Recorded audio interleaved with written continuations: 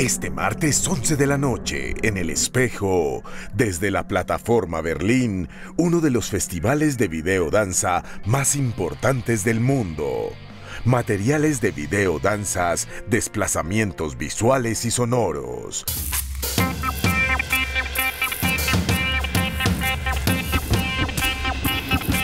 El Espejo, martes y viernes 11 de la noche, por Canal Capital, televisión más humana.